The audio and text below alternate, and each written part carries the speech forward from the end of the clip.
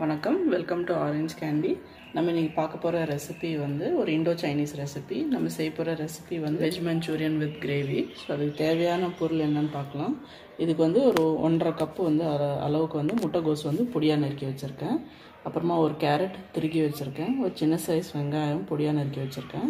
காரத்துக்கு வந்து ஒரு பச்சை மிளகா பொடியாக நறுக்கி வச்சுருக்கேன். உங்களுக்கு பச்சை மிளகா வேண்டாம்னா நீங்கள் சில்லி சாஸ் கூட ஒரு ஸ்பூன்லேருந்து ரெண்டு ஸ்பூன் வரைக்கும் உங்களுக்கு எவ்வளோ காரம் வேணுமோ அதுக்கேற்ற மாதிரி போட்டுக்கலாம். நம்ம வந்து ஃபஸ்ட்டு இது வந்து மஞ்சூரியன் பால்ஸ் செய்யறதுக்கு தேவையான பொருள்.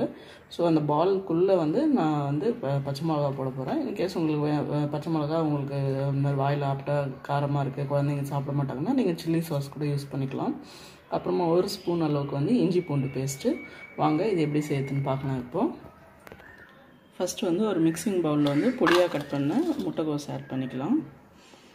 அது கூட வந்து நம்ம திருக்கி வச்சுருக்க கேரட் ஆட் பண்ணிக்கலாம். அப்புறம் பொடியாக கட் பண்ண வெங்காயம் ஆட் பண்ணிக்கலாம். கூட வந்து பொடியாக நறுக்கின பச்சை மிளகா அப்புறம் இஞ்சி பூண்டு பேஸ்ட் வந்து ஆட் பண்ணிக்கலாம். இதில் வந்து இது தேவையான அளவுக்கு வந்து நம்ம உப்பு ஆட் பண்ணிக்கலாம். உங்களுக்கு டேஸ்ட்டுக்கு ஏற்ற மாதிரி நீங்கள் உப்பு ஆட் பண்ணிக்கோங்க. இப்போ இதெல்லாமே நம்ம நல்லா மிக்ஸ் பண்ணிடலாம். ஸோ உப்புலாம் நல்லா வந்து எல்லாமே நல்லா ஈவனாக மிக்ஸ் ஆகட்டும். இது கூட வந்து பைண்டிங்காக வந்து நம்ம ரெண்டு டேபிள் ஸ்பூன் அளவுக்கு வந்து கார்ன்ஃப்ளவர் ஆட் பண்ணிக்கலாம்.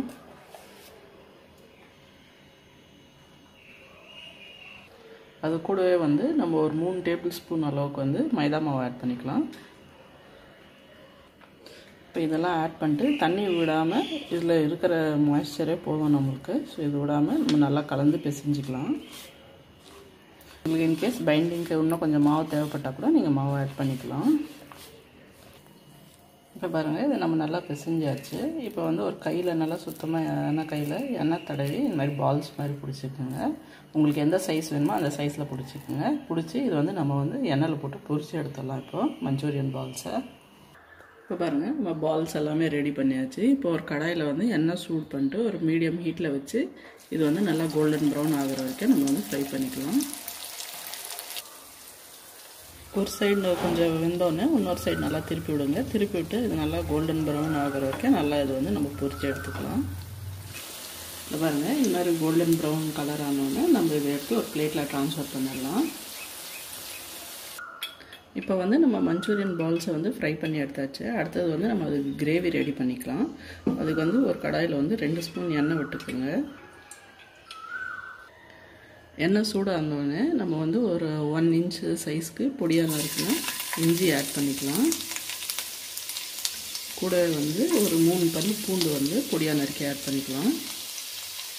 அப்புறம் சின்னதாக ஒரு பச்சை மிளகா நீட்டாக கீரி ஆட் பண்ணிக்கலாம். காரத்துக்கு. ஸ்லைட்டாக வந்து ஒரு வதங்கிக்கலாம் இப்போ வந்து நம்ம க்யூப்ஸ் மாதிரி கட் பண்ண கொடை மிளகா ஒன்று ஆட் பண்ணிக்கலாம். அதே மாதிரி கியூப்ஸ் மாதிரி கட் பண்ணால் வெங்காயமும் ஆட் பண்ணிக்கலாம். ஆட் பண்ணிட்டு இது ஒரு ஹை ஃப்ளேமில் ஜஸ்ட் ஒன் மினிட் வரைக்கும் இது பண்ணிக்கலாம். ஸ்டார்ட் ஃப்ரை பண்ணிக்கோங்க. அது வந்து- ரொம்ப வெந்து குழ குழையக்கூடாது. நல்லா கிறிஸ்பாக இருக்கும் காய். ஜஸ்ட் ஒரு டூ மினிட்ஸ் மட்டும் இது பண்ணிக்கினா போதும். இப்போ வந்து ஒரு ஒன் டு டூ மினிட்ஸ் வந்து நம்ம ஹை ஃப்ளேமில் வச்சு நம்ம காயெல்லாம் வதக்குனதுக்கப்புறமா ரெண்டு டேபிள் ஸ்பூன் அளவுக்கு வந்து வினிகர் ஆட் பண்ணிக்கோங்க.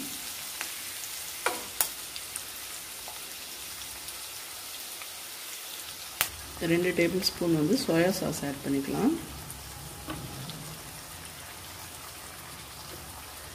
இந்த ரெசிபிக்கு வந்து நீங்கள் டார்க் சோயா சாஸ் யூஸ் பண்ணிக்கோங்க. அப்போ தான் கலர் வந்து நல்லாயிருக்கும் நம்மளுக்கு. ரெண்டு டேபிள் ஸ்பூன் அளவுக்கு வந்து டொமேட்டோ சாஸ் ஆட் பண்ணிக்கோங்க.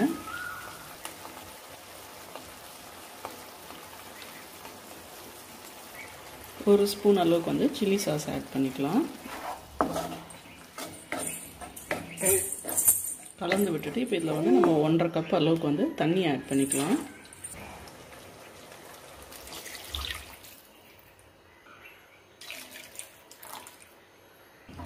இப்போ இதெல்லாம் நல்லா கலந்து விட்டு வாட்டர்லாம் ஆட் பண்ணதுக்கப்புறமா இது ஒரு மீடியம் ஃப்ளேமில் வச்சுட்டு இது நல்லா கொதி வர வரைக்கும் வெயிட் பண்ணலாம். இது கொதி வர டைமில் வந்து நம்ம கார்ன்ஃப்ளவர் ஸ்லரி ரெடி பண்ணிக்கலாம் வாங்க.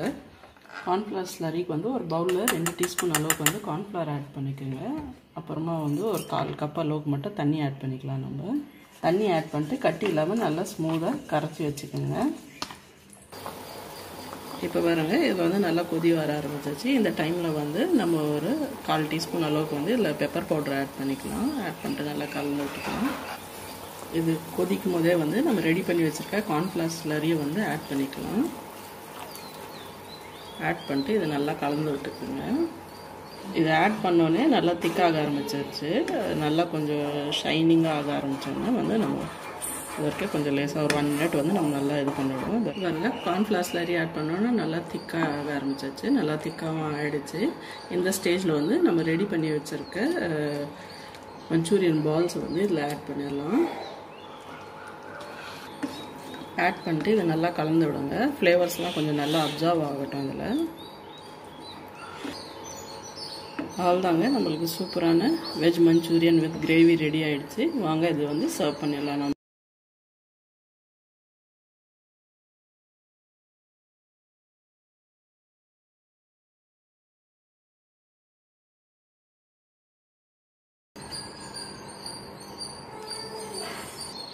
இப்போ பாருங்கள் நமக்கு சூப்பரான டேஸ்டியான veg Manchurian with gravy ready ஆகிடுச்சு கண்டிப்பாக இந்த ரெசிபி ட்ரை பண்ணி பாருங்கள் உங்களுக்கும் பிடிக்கும்னு நினைக்கிறேன். ரொம்ப ஈஸியான கிரேவி நம்ம வந்து வீட்டிலேயே செய்யலாம். கண்டிப்பாக ட்ரை பண்ணி பார்த்துட்டு எப்படி இருந்துச்சுன்னு வந்து கே கமெண்ட் செக்ஷனில் சொல்லுங்கள் அப்புறம் இந்த வீடியோ உங்களுக்கு பிடிச்சிருந்தா லைக் பண்ணுங்கள் ஷேர் பண்ணுங்கள் அப்புறம் மறக்காமல் எங்கள் சேனல் ஆரஞ்ச் கேண்டிக்கு சப்ஸ்கிரைப் பண்ணுங்கள் நன்றி வணக்கம்.